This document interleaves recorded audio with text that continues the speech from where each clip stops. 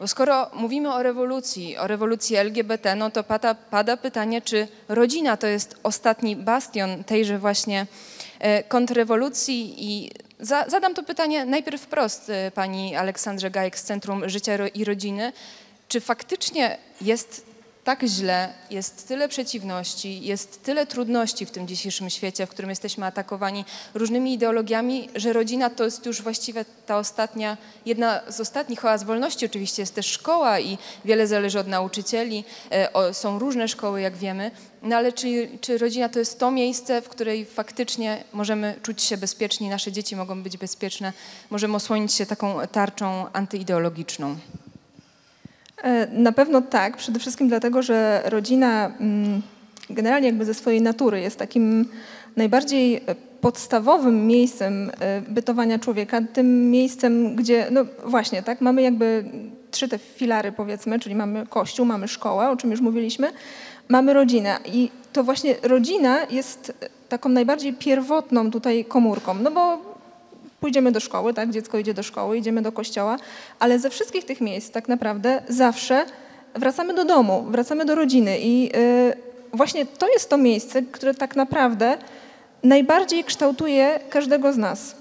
Tak? W rodzinie dziecko przychodzi na świat, w rodzinie zyskuje największą opiekę, e, w rodzinie zyskuje e, no, tak naprawdę całą socjalizację. To znaczy socjalizacja oczywiście zachodzi też tak? w szkole, zachodzi w innych środowiskach, ale zaczyna się w rodzinie, czyli ten proces przystosowania do, e, do życia w społeczeństwie, czerpanie wzorców, czerpanie mm, wzorów ogólnie kobiecości, męskości, tak, ról społecznych, pewnych wzorców zachowań.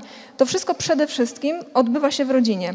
Więc jakby jeżeli mamy zapytać siebie, tak, odpowiedzieć na pytanie, czy faktycznie rodzina jest tym ostatnim bastionem kontrrewolucji, to zdecydowanie tak, dlatego że od niej tak naprawdę wszystko się zaczyna i do niej wszystko się sprowadza. Jeżeli e, nawet zniszczymy kościół, jeżeli zniszczymy szkołę, to nadal zostaje nam rodzina. Nadal człowiek może wrócić do tej rodziny i tam znaleźć tą bezpieczną bazę, znaleźć tą swoją ochronę, znaleźć jakieś e, korzenie, jakąś podstawę swojego życia. Więc tak naprawdę bez zniszczenia rodziny no nie uda się cała rewolucja. Nie ma takiej możliwości, dlatego że zawsze będziemy mieć dokąd wrócić. I dlatego tak sobie myślę, jeżeli patrzymy tak naprawdę na przebieg tej rewolucji, to mm, no powiedzmy tak, y, mówiliśmy o Kościele, Kościół w jakiś sposób mamy już tak zainfekowany powiedzmy y, tą myślą rewolucyjną. Szkoły, wiemy jak to wygląda, że no mniej lub bardziej, ale jest tam jakiś dostęp już tej ideologii, ona też jest przemycana, więc nawet jeżeli tego nie widzimy, to ona tam jest. E, pozostaje rodzina i e, to niszczenie rodziny też obserwujemy, ono też następuje, tak? No chociażby widzimy najprostsze rzeczy, epidemia e, rozwodów, to jak to się rozprzestrzenia w tej chwili mamy mm, również w Polsce już w zasadzie widoczne, tak? To jest co trzecie małżeństwo, co drugie w większych miastach i to jest ta podstawa, tak? Znaczy niszczymy podstawowy mm, rdzeń każdej rodziny, niszczymy małżeństwo. Druga rzecz, niszczymy wychowanie, niszczymy dzieci, niszczymy autorytet rodziców wobec dzieci.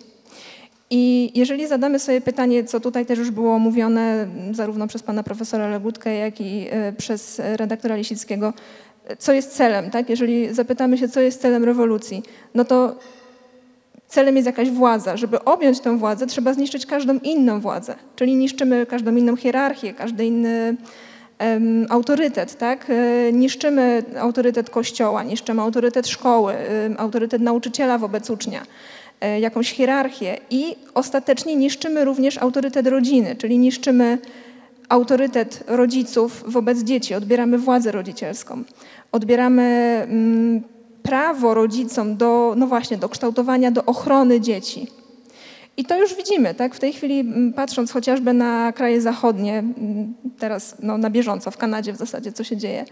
E, w szkołach ideologia rozpanoszyła się do tego stopnia, że rodzice wyszli na ulicę. Rodzice zaczęli protestować w obronie własnych dzieci, żeby uchronić ich przed, e, przed tą indoktrynacją w szkole, która jest no, naprawdę w Kanadzie, my sobie nawet tego w zasadzie nie jesteśmy w stanie do końca wyobrazić, tak?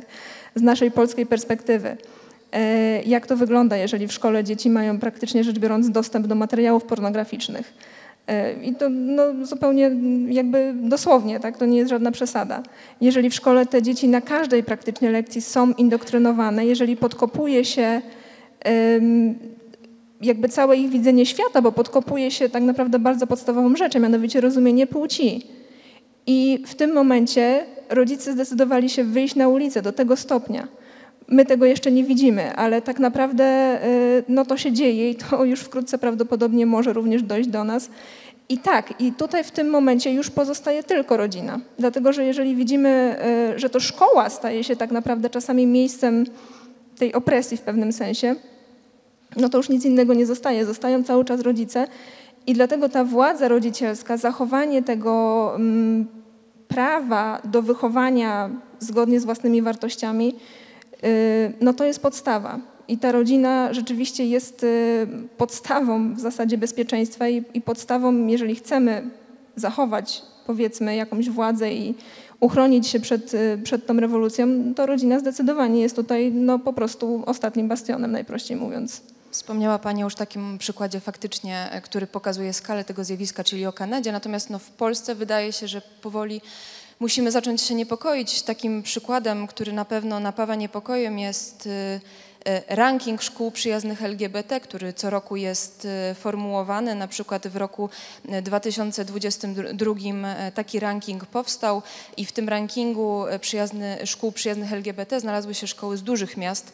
Top 10 szkół to Warszawa, Poznań, Lublin, Gdańsk, Toruń, Toruń i Olsztyn. A dlaczego mówię o szkole? No dlatego, że dzieci, które żyją w rodzinie, idą do szkoły, wracają z tej szkoły, wracają z jakimiś konkretnymi ideami, pomysłami, e, są kształtowane przez konkretnych ludzi. I pytanie do pana prezesa Sławomira Olejniczaka e, no nie da się zamknąć w rodzinie na świat zewnętrzny, prawda? Nie możemy zamknąć się w czterech ścianach, zabronić dzieciom wychodzić do szkoły, bo muszą socjalizować się, muszą funkcjonować w społeczeństwie. Ale czy da się to oddzielić albo jak to połączyć, jak rozmawiać z dziećmi, e, które wracają ze szkoły i na przykład mówią, no a była pogadanka, e, że tak naprawdę płeć jest płynna? E, myślę, że tutaj jest kwestia przede wszystkim istotna odpowiednich relacji w rodzinie, bo to jest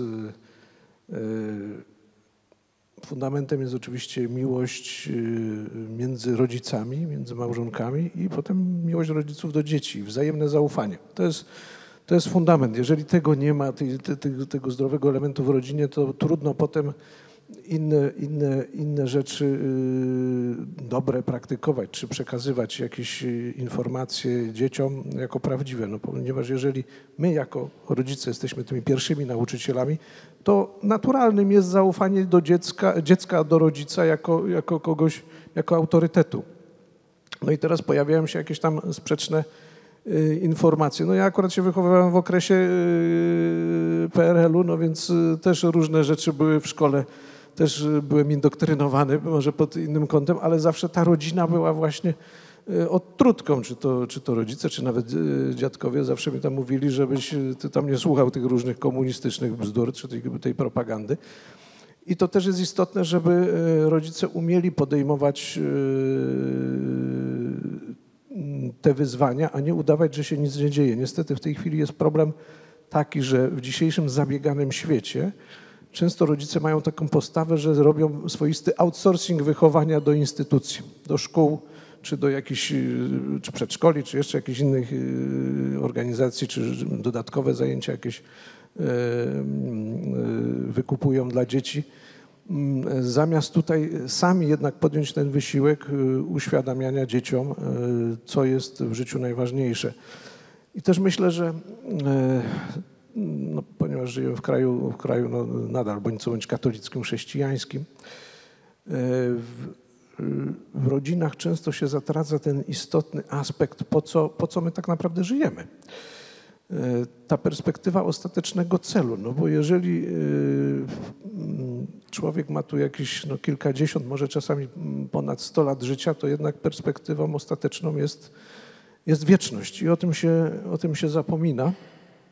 Y, I, I rodzina, i małżeństwo, y, które zostało też podniesione do, w Kościele katolickim przez Pana Jezusa do, y, do rangi sakramentu, to jest nie tylko to, co mówimy tak naturalnie, na, na podstawowa komórka społeczna, ale również to jest ta wspólna droga do nieba. To jest to coś, co ma nas uświęcać i prowadzić ku, ku wieczności, ostatecznemu zbawieniu. I myślę, że ta perspektywa jest bardzo istotna, bo wtedy, jeżeli nawet dziecko przyjdzie z jakimiś no, właśnie informacjami, czy gdzieś tam jest zainfekowane tą ideologią, to jeżeli my naświetlimy mu tą perspektywę właśnie, po co ty żyjesz, i co masz robić, aby osiągnąć ten cel ostateczny, aby się zbawić, praktykując cnoty, zachowując przekazania, zachowując e, wiarę katolicką, e, to wtedy myślę, że, e, że ta ideologia będzie się odbijać, że to jest,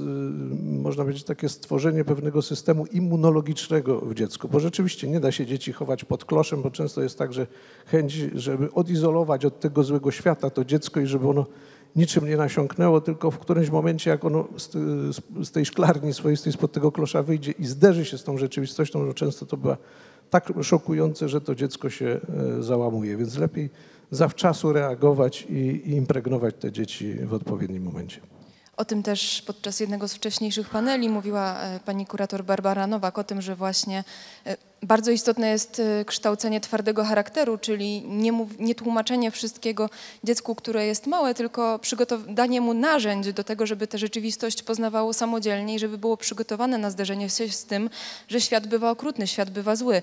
I jest rodzina, o której pan wspomniał, a czy rodzina potrzebuje pomocy państwa w takim sensie, czy potrzebuje regulacji, które będą ją chroniły. Mam na myśli dwie ustawy, tak zwane Lex Czarnek, które zostały zawetowane ostatecznie przez prezydenta i tak skrótowo ustawy te e, ograniczały możliwość wchodzenia organizacji pozarządowych, tutaj szczególnie chodziło o te tęczowe organizacje do szkół.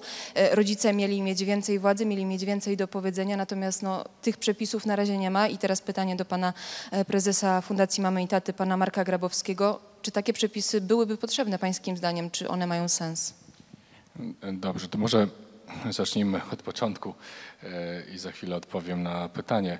E, proszę Państwa, mm, rodzina faktycznie nie jest e, podmiotem, który funkcjonuje całkowicie autonomicznie i niezależnie od otoczenia, w którym działa. Żeby rodzina dobrze mm, się rozwijała, no musi mieć też pewną glebę do tego rozwoju i ta gleba ma rozmaite składniki, bo tym składnikiem jest e, zarówno, e, są zarówno pewne możliwości ekonomiczne i można powiedzieć, że tutaj w ostatnich e, latach rządu, mm, rządów Zjednoczonej Prawicy to w jakiejś mierze się udało.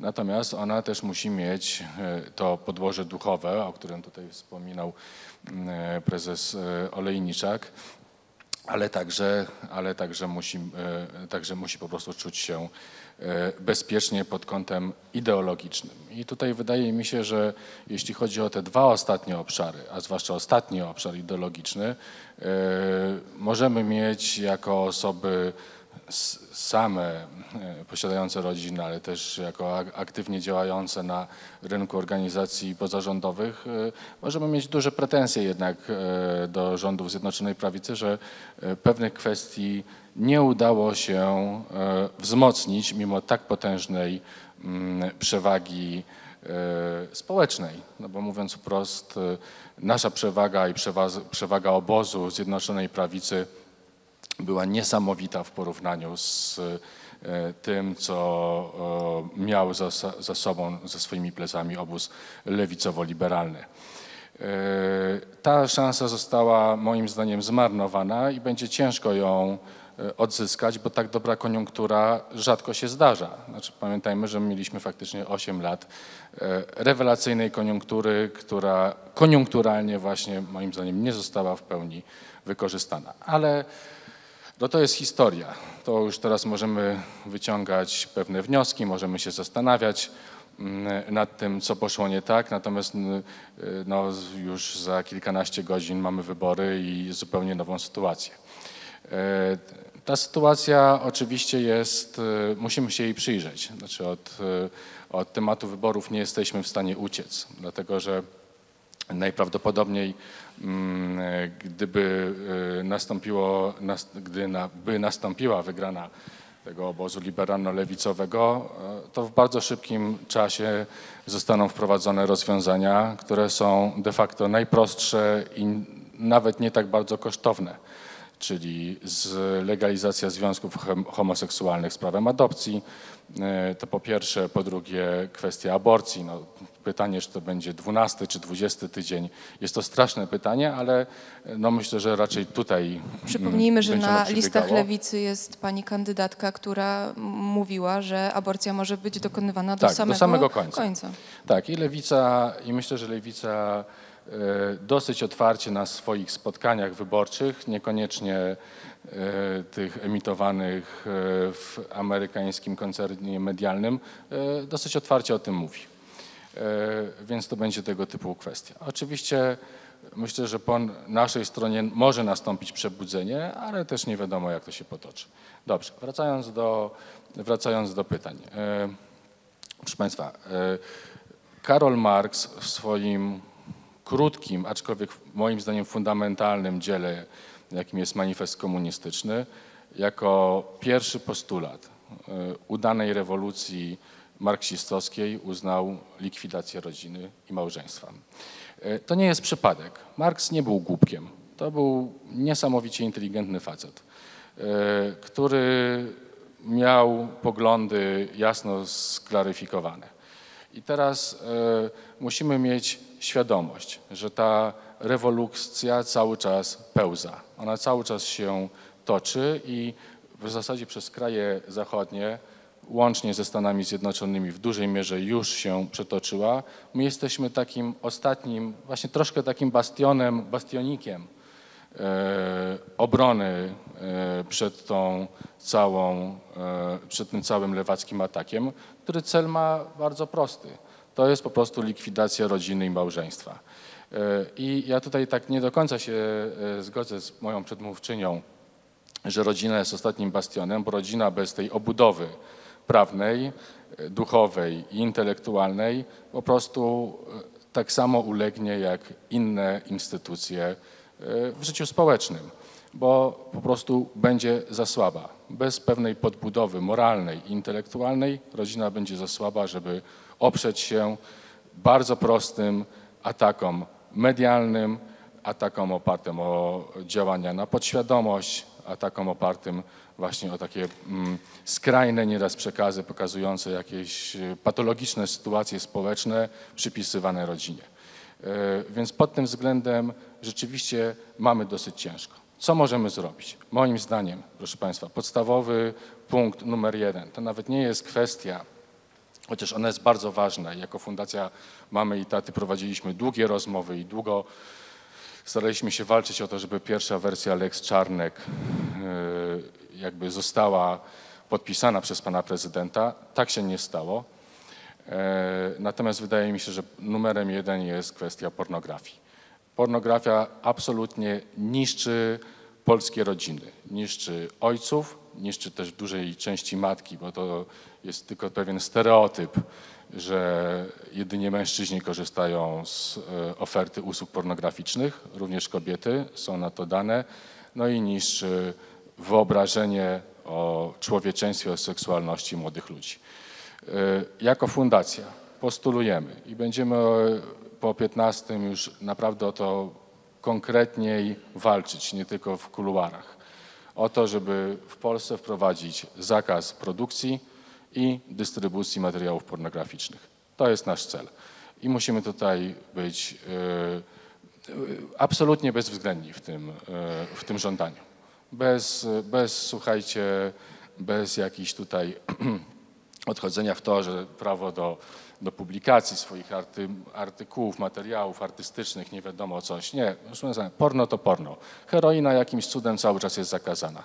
To nie jest produkt kolekcjonerski. I tak samo produktem kolekcjonerskim nie jest pornografia. I to jest moim zdaniem ten punkt, który, e, o który musimy zawalczyć, żeby zacząć ratować chociażby to, o czym mówiła pani redaktor, czyli kwestię rozpadu małżeństw, rozpadu rodzin, psucia relacji między rodzicami a dziećmi.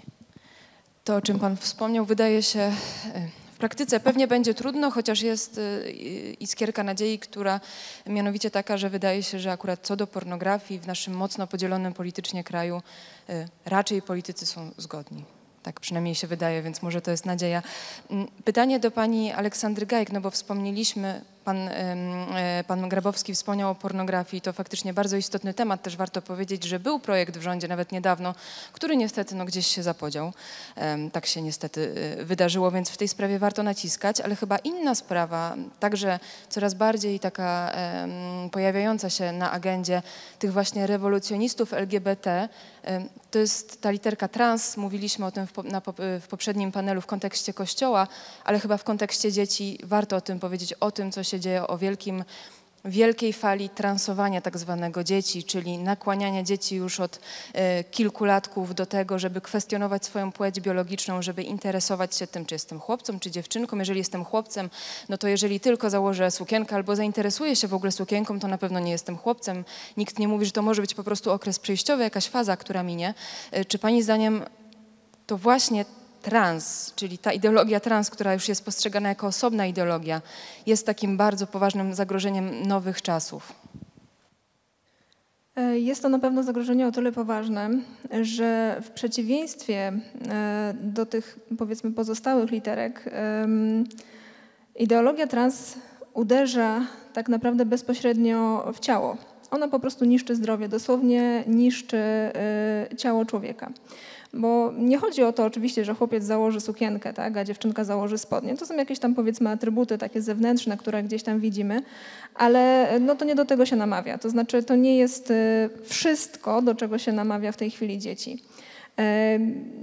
Przypuszczam, że spora część z Państwa słyszała dosyć głośną historię sprzed no, kilku tygodni, miesięcy e, pana Łukasza Sakowskiego, który opowiadał o tym, że został nakłoniony, zmanipulowany jako, jako młoda osoba, młody dorosły, e, czy wręcz nastolatek, do tego, żeby zacząć przyjmować hormony, żeby zacząć zmieniać swoją płeć i on w pewnym momencie, kiedy był dorosły, zrezygnował z tego. Znaczy uznał, że to nie jest jednak dobre, że został rzeczywiście zmanipulowany, próbował od tego odejść. Oczywiście to nie jest takie proste, ponieważ i jak to on dokładnie na swoim przykładzie opowiada. I o tym zresztą też opowiada bardzo dużo innych osób, bo to nie jest jedyna osoba, która próbuje odwrócić ten proces, e, że tak naprawdę od tego odejść się nie da. To jest e, ideologia, która w sposób zupełnie fizyczny niszczy ciało człowieka. Przyjmowanie hormonów, przyjmowanie blokerów dojrzewania.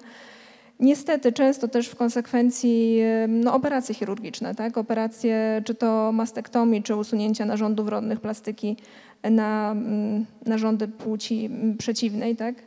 E, to jest w zasadzie nieodwracalne i o tym się bardzo mało mówi. Oczywiście no wiadomo dlaczego, dlatego że to jest po prostu niewygodne. Nikt by się prawdopodobnie na to nie zdecydował, kiedy znałby e, rzeczywiste konsekwencje. Natomiast e, to, o czym coraz częściej też słyszymy właśnie od tych osób, które no, uznały, że się pomyliły i zdecydują się później wrócić do swojej naturalnej płci, to jest fakt, że rzeczywiście w tej chwili mamy do czynienia z takim przejmowaniem dzieci. Tutaj wcześniej w jednym z paneli użyto takiego sformułowania, że te dzieci są porywane. I to trochę tak jest. To znaczy, mm, bardzo często zaczyna się od tego, że dziecku sugeruje się, że ono może być innej płci, że no właśnie, jesteś chłopcem, ale może kiedyś będziesz chciał być dziewczynką czy odwrotnie, tak, masz takie, jesteś dziewczynką, ale masz takie cechy, nie wiem, przywódcze, tak, y, takie typowo męskie, więc no, to się wszystko może zmienić. E, I bardzo często tutaj narzędziem też e, staje się internet. E, o tym też mówimy między innymi o tym w jednej z kampanii Centrum Życia i Rodziny, mianowicie Szkoła bez smartfonów, że właśnie internet jest no, bardzo poważnym takim zagrożeniem pod tym kątem, że niestety, ale tam dzieci często pierwszy raz, albo przynajmniej najmocniej, e, stykają się właśnie z tą ideologią i są dosłownie manipulowane przez e, ludzi dorosłych, często dorosłych transseksualistów, albo swoich rówieśników, e, no właśnie, do tego, żeby zastanowiły się nad tym, zakwestionowały swoją płeć. I tak to się bardzo często zaczyna. E, w Stanach Zjednoczonych e, pani doktor Lisa Littman, jeśli nie pomyliłam nazwiska, wysnuła wręcz taką teorię, ponieważ często mówi się o tym, że mm, no, mamy coraz więcej tych dzieci, które twierdzą, że są transseksualne, transpłciowe. No ale to wynika po prostu z tego, że one się ujawniają, że teraz takie są czasy dobre, że nie boją się ujawnić, nie boją się wyjść z tym, że taką mają tożsamość. E, natomiast oczywiście no, jest to tak ogromny przyrost, bo to jest przyrost w zasadzie o kilka tysięcy procent często w ciągu no, ostatnich kilku lat. To jest niesamowite. I no, dla każdego zdroworozsądkowego człowieka jest oczywiste, że to nie może być naturalne, po prostu coś takiego w przyrodzie nie występuje. Nie może to być tylko i wyłącznie kwestia tego, że społecznie te dzieci są bardziej ośmielone i nie boją się już ujawniać. Nie. E, rodzice coraz częściej właśnie zauważają, że to jest swego rodzaju moda. Mm, tudzież powiedzmy tak, no może to śmiesznie zabrzmi, ale w pewnym, w pewnym sensie choroba zakaźna, tak? To znaczy coś, co dzieci dosłownie przekazują sobie nawzajem, co przechodzi z jednego dziecka na drugie. To zaobserwowano, że jeżeli w klasie pojawi się jedno takie dziecko, to za chwilę jest ich już kilkoro. Wręcz yy, tak połowa klasy nagle deklaruje, że jest innej płci, albo deklaruje, że może nie ma płci na przykład, tak, że jest, yy, że jest interpłciowa. E, I tutaj właśnie mm, pani Lisa Littman e, nazwała coś takiego, takie powiedzmy schorzenie, e, rapid onset gender dysphoria, czyli no właśnie taki nagły rzut tej dysforii płciowej, tak? czyli tej powiedzmy dyskomfortu związanego z własną płcią. To jest coś niebywałego. Oczywiście natychmiast została skancelowana i wyśmiana, że to przecież niemożliwe i, i absolutnie zagraża tutaj zdrowiu dzieci. Natomiast to jest y, teoria, która w zasadzie no, potwierdzałaby to, co obserwuje wielu rodziców. To znaczy właśnie to, że dzieci, które do tej pory nie miały żadnych problemów, wchodzą w okres dojrzewania i w sposób no, w pewnym sensie naturalny mają jakieś kompleksy, zaczynają może trochę mm, nieswojo czuć się z własnym ciałem, zaczynają kwestionować jakby to, co do tej pory było oczywiste, tak? Teraz no, już przestają może dobrze się czuć z tym, że nie wiem, troszkę tak ciało się zmienia, zmieniają się różne fizyczne cechy. To jest naturalne i to jest jakby naturalny dyskomfort. Natomiast w momencie, kiedy to dziecko zostanie przejęte przez właśnie tych ideologów e, transgender, ono często dowiaduje się, że to jest właśnie jakby objaw tego, że ono jest transpłciowe. To, że nie podoba ci się twoje ciało, że masz kompleksy, że źle się czujesz jako dziewczyna, twoje ciało się zmienia, niefajnie się z tym czujesz, no to znaczy, że jesteś transpłciowa po prostu. Powinnaś zmienić płeć i wtedy twoje e, wszystkie problemy się rozwiążą. Jest to oczywiście absolutna nieprawda. Tak jak pani wspomniała, bardzo często, wręcz w większości przypadków e, dzieciaki z tego wyrastają. To jest 80, ponad 80% przypadków, kiedy tak naprawdę w zupełnie naturalny sposób to wszystko mija. Natomiast o tym się nie mówi. Te dzieci są wyłapywane w pewnym sensie w wieku nastoletnim. E, no i niestety bardzo często dokonują okaleczeń, które mm, no, pozostają z nimi na całe życie, niezależnie od tego, co potem się stanie, na co później się zdecydują. E, to tego się po prostu nie da już cofnąć. I to jest rzeczywiście e, coś, co w ciągu ostatnich kilku lat bardzo przebrało na sile, stało się w zasadzie takie dominujące, bo tak jak wcześniej mówiło się głównie rzeczywiście o mm, homoseksualizmie jako takim głównym problemie, tak w tej chwili no, w sposób niesamowicie gwałtowny wyrósł problem e, transseksualizmu, właśnie głównie wśród dzieci, wśród młodzieży.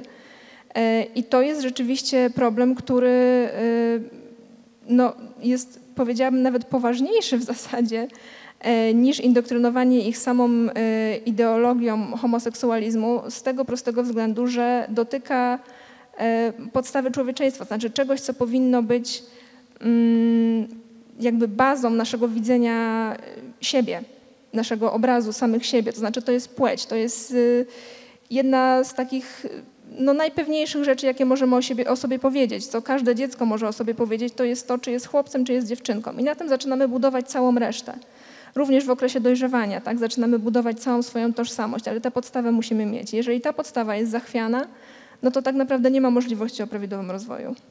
Y, a mówimy o tym, bo to jest bardzo istotne, no bo jeżeli zachwieje się, y, zachwieje się poczuciem tożsamości dziecka, chwieje się całą rodziną, cała rodzina wtedy cierpi, a to, o czym Pani wspomniała, zostało świetnie opisane w książce, którą ja zareklamuję, bo ją czytałam i myślę, że każdy rodzic, ale nie tylko powinien ją przeczytać. To jest książka Nieodwracalna krzywda Abigail, Abigail Schreier, absolutnie nieprawicowej dziennikarki Wall Street Journal, która świetnie opisała to, jak przede wszystkim nastoletnie dziewczęta ideologizuje się, e, się, no i prowadzi się do nieodwracalnej krzywdy, krzywdy, która jest nieodwracalna po prostu fizycznie.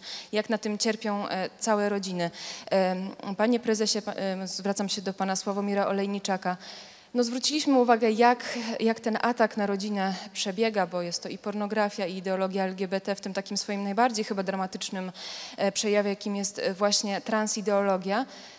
To pytanie, może, które warto zadać, komu zależy na tym, żeby w rodzinę uderzyć, żeby te podstawowe fundamenty rodziny skruszyć, kto na tym korzysta, jaki ma z tego zysk i po co to robi? E, tu pan prezes Grabowski wspomniał o, o, między innymi o Marksie, ale o wszystkich rewolucjonistach, którzy też tworzą e, kolejną utopię. E, wcześniej profesor Legutko i, i, i pan redaktor Lisicki też mówili właśnie o tych różnych y, gigantycznych y, instytucjach, y, które niestety atakują rodzinę. E, myślę, że też trzeba jeszcze, żeby tak już mieć, dopełnić tego obrazu, trzeba tutaj dodać, że pierwszym rewolucjonistą, który, który był, to, to był Lucyfer, kiedy powiedział non serviam, nie będę służył, ponieważ ten Boży plan i Boży porządek mu nie odpowiadał i tak naprawdę gdzieś tam ostatecznie e, u podłoża tych, tych wszystkich rewolucji, które zamierzają zniszczyć właśnie ten naturalny porządek, bo tu już mówimy o tych wszystkich instytucjach, które można powiedzieć zostały przejęte przez tą antychrześcijańską rewolucję, łącznie niestety z zainfekowaniem Kościoła katolickiego i tą ostatnim bastionem, tą ostatnią, można powiedzieć, deską ratunku jest rzeczywiście rodzina, która no, wynika z samego porządku naturalnego. No, mężczyznom i niewiastom e, stworzył ich. I czemu to ma służyć tak naprawdę? No, tak jak powiedziałem, no, inspiracją jest, jest ten, ten zbuntowany, zbuntowany anioł i ostatecznie, tak jak powiedzieliśmy, mamy tą perspektywę, perspektywę wieczności. Chodzi o stworzenie optymalnych warunków dla potępienia dusz. To jest jakby cel ostateczny rewolucji. Oczywiście ludzi się mami różnymi utopiami, czyli, czyli tymi pozorami raju na ziemi. No a wiemy nawet już z własnego doświadczenia, jak próbowano nam tutaj zaimplementować komunizm, który też miał być właśnie tym, tym rajem na ziemi, no ostatecznie to jest kolejna wersja jakiegoś piekła. Więc y, w tej chwili niestety doszliśmy już nie tylko do, do poziomu niszczenia tych właśnie instytucji społecznych, ale uderza się w samą podstawową y, komórkę społeczeństwa, jaką jest właśnie, właśnie rodzina, żeby już dopełnić tego, tego dzieła, dzieła zniszczenia, żeby ludzie ostatecznie nie wiedzieli, po co istnieją, dokąd zmierzają, jaki jest cel, cel ich życia, tylko się przedstawia, no dobra, rób y, tak naprawdę nic cię nie obowiązuje, możesz wybrać y, to, czy będziesz mężczyzną, czy kobietą. Y, rodzina to już nie jest związek mężczyzny i kobiety, czy to nie jest mama, tata właśnie i dzieci, E, tylko to może być dowolna konfiguracja i to nie tylko jednopłciowa, ale jak to się okazuje, no, e, e, z wielością partnerów, jakaś rodzina patchworkowa. Więc tak naprawdę ostatecznie chodzi o, nie tylko o, o to, żeby tu na ziemi coś, coś wdrożyć, te chore pomysły, ale żeby doprowadzić do tego, aby ludzie popadli w rozpacz, no i ostatecznie też potępili się. I tu jest niestety no, no, poważny problem, że rodzina, czy my jako rodzice też często czujemy się osaczeni, bo powinniśmy oczekiwać właśnie wsparcia od różnych instytucji, w szczególności od, od Kościoła katolickiego, a często tego wsparcia nie ma, bo o tych różnych problemach, jak tutaj właśnie pornografia czy coś, bardzo rzadko się słyszy zambon. To, te tematy praktycznie nie są, nie są podejmowane, a powinny być. Stąd też no myślę przede wszystkim dwie rzeczy, które tutaj my możemy podejmować jako rodzina. Tworzyć różnego rodzaju organizacje społeczne, stowarzyszenia, ruchy, fundacje, które mogłyby wywierać nacisk na te różne instytucje antyrodzinne i przede wszystkim też trwać. Trwać w miłości małżeńskiej, ale też i w wierze. I, i przede wszystkim ufać, że e, Pan Bóg jakoś każdą rodzinę będzie indywidualnie prowadził i, i zaufać e, Bożej opatrzności. I mm, taki sługa Boży, ojciec, ojciec Bernard Kryszkiewicz, e, pasjonista, on napisał, że to, co Szczególnie tutaj się skupiał na, na, na wychowaniu i też do, e, szczególnie też w kwestii właśnie wychowania młodego pokolenia do czystości. To był okres lata 30. i, i, i 40., okres, okres wojny. On zaraz krótko po wojnie zmarł.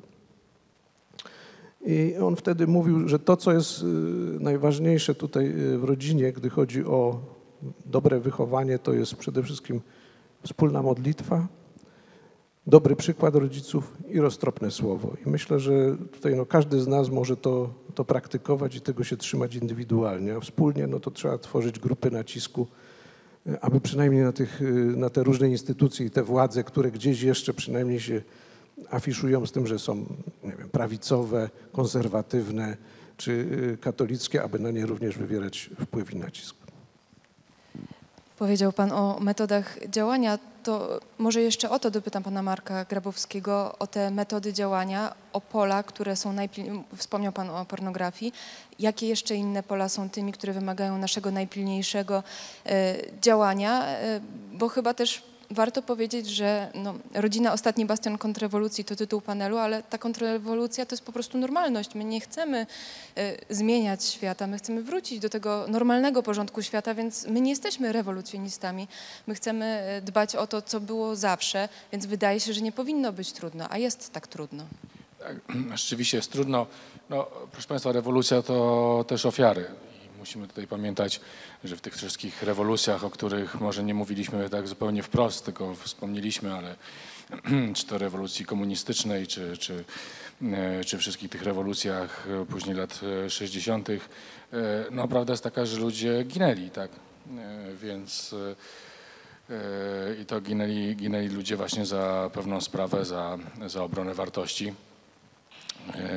Ja już tutaj może nie chcę mówić, że kontrrewolucja też będzie wymagała ofiar, ale no może w jakiejś, w jakiejś mierze trzeba się z tym liczyć, tak, że, że może nadejść taki moment, że po prostu trzeba będzie, e, trzeba będzie działać, e, czy przynajmniej się bronić. Natomiast e, tutaj odpowiadając na Pani pytanie, Pani redaktor, jest kilka obszarów, które są absolutnie kluczowe dla E, dobrego funkcjonowania rodzin. E, przede wszystkim musimy zwracać uwagę i, i być aktywnymi e, w szkole, w trójkach klasowych, w, w, w radach szkoły, bo ja jakoś, nie wiem, no mam wrażenie, że prze, przez te wszystkie lata jakoś byłem aktywny i różne rzeczy widziałem właśnie w szkołach. Ta aktywność nie wymaga naprawdę wiele czasu. Wystarczy po prostu zobaczyć, jakie organizacje pozarządowe wchodzą do szkół i odpowiednio reagować. To nie musi być wcale reakcja jakaś tam agresywna, nic z tych rzeczy, tak? Po prostu czasami warto przejrzeć e, program czy pewne dosie sobie wygooglać danej organizacji, żeby wyrobić sobie zdanie.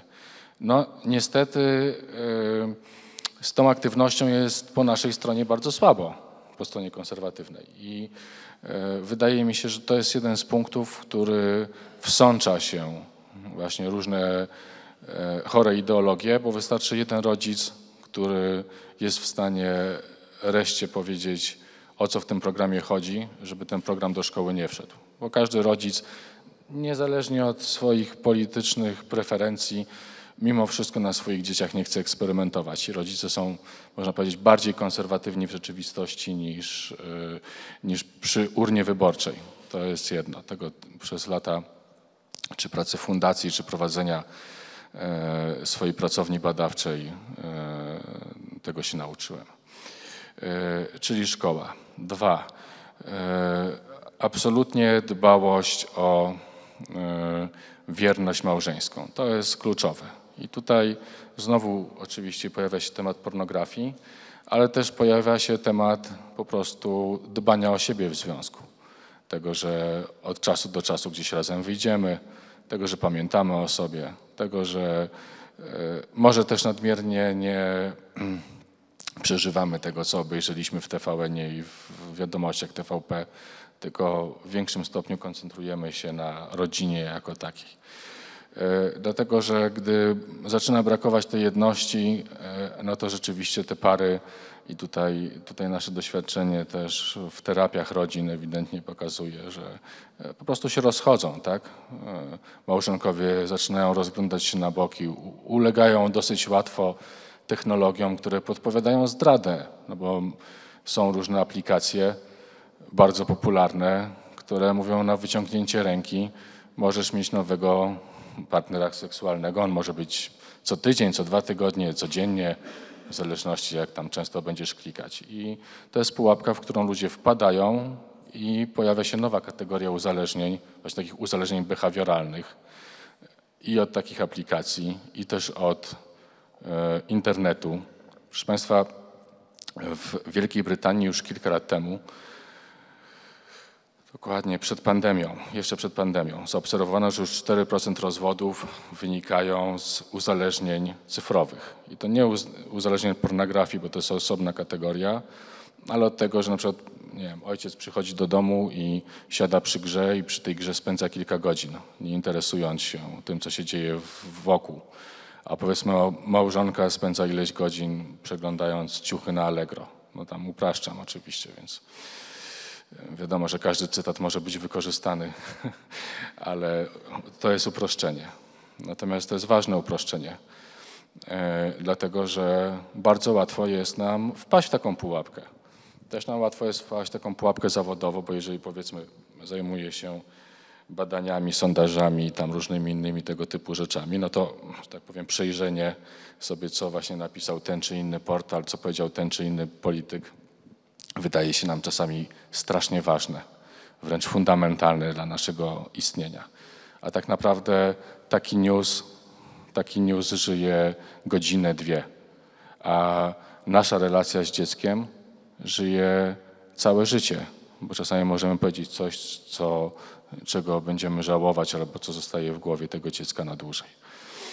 E, to jest drugi obszar, czyli szkoła, czyli relacje, wierność, i myślę, proszę Państwa, że też musimy pamiętać o kulturze, dlatego że podbudowanie kulturą, e, dobrymi rzeczami, ciężko jest je znaleźć, ale dobrymi produkcjami w kinie, w teatrze, w literaturze, tworzymy coś unikalnego, z czego nasze dzieci też mogą być dumne, bo mogą się, jak coś obejrzą czy przeczytają, mogą się pochwalić innym.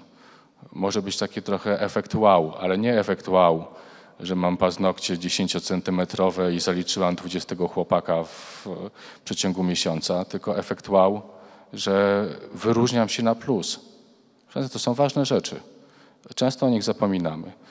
Opieram te refleksje na podstawie po prostu terapii, które prowadzimy. Ja sam ich nie prowadzę oczywiście, ale, ale mniej więcej słyszę, jakie są przyczyny. Zawsze sprawdzamy, co tam się dzieje. I wydaje mi się, że po prostu musimy podnieść naszą poprzeczkę też takiej jakości duchowej rodziny, duchowej, intelektualnej, kulturalnej. I to będzie właśnie sposób na to, żeby wygrać z tym prymitywizmem e, LGBT e, i czerwonej zarazy. Czyli praca organiczna. Z jednej strony mamy dosłownie trzy minuty, więc poproszę jeszcze panią Aleksandrę Gajek o powiedzenie kilka słów o czymś, co wydaje się, że w przestrzeni publicznej nam się udało. Mówiliśmy o tych obszarach, które wymagają przepracowania, ale mamy coś, co nam się udało, czyli marsze dla życia i rodziny, które przechodzą ulicami wielu polskich miast. W Warszawie, ja pochodzę ze Szczecina, gdzie również jest y, ksiądz Tomasz Kancelarczyk, może wielu z Państwa znany, również organizuje taki marsz y, to jest coś, to jest taki kierunek, w którym powinniśmy chyba iść, prawda? Czyli manifestacja, ale radosna, e, z dziećmi, ze śpiewem na ustach, e, manifestowanie właśnie w Warszawie czy w dużych miastach, że są te rodziny, że są obecne, że chcą tu być i nie będą się gdzieś ukrywać. Dosłownie trzy zdania. Jak to się udało i e, może też zachęta, żeby brać w tym udział. E, to jest właśnie część e, tego, o czym też właśnie przed chwilą tutaj padło a propos kultury, tak? to znaczy budowania kultury przyjaznej rodzinie, pokazywania, że rodzina jest czymś dobrym, że jest tak naprawdę najlepszą naszą drogą do budowania zarówno osobistego szczęścia, jak i no po prostu zdrowego społeczeństwa, zdrowej przyszłości, bo e, tak naprawdę no to jest taki główny cel e, marszów. I rzeczywiście w tym roku mieliśmy 18 już edycję, to jest co roku kilkadziesiąt miast, które się do nas dołączają.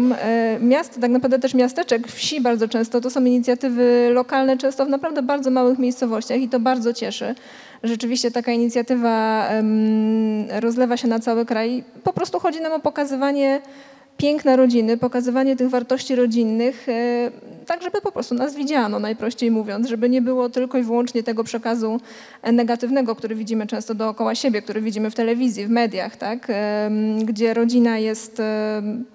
No, po pierwsze, często jej nie ma, to znaczy albo się rozpada, albo w ogóle nie jest zakładana albo jeżeli już jest, no to często jest e, pokazywana jako coś takiego mm, opresyjnego. My chcemy pokazać coś zupełnie innego. Chcemy pokazać, że rodzina jest jak najbardziej dobrem.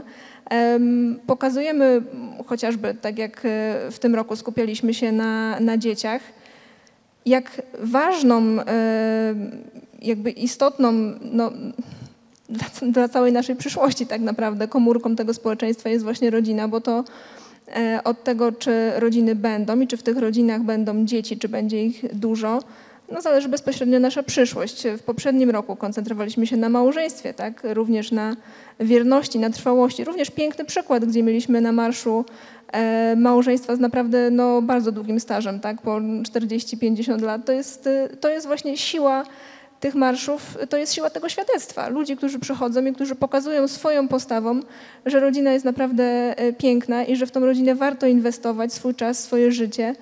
E, I cóż, chyba z tego miejsca pozostaje tylko i wyłącznie zaprosić Państwa w przyszłym roku już na, e, na kolejny marsz. Mam nadzieję, że to się uda i że ta inicjatywa będzie trwała, bo myślę, że w dzisiejszych czasach, kiedy naprawdę widzimy w zasadzie tylko przeciwny obraz, no to jest kluczowe, żeby pokazać, że jednak nie, że jednak można inaczej.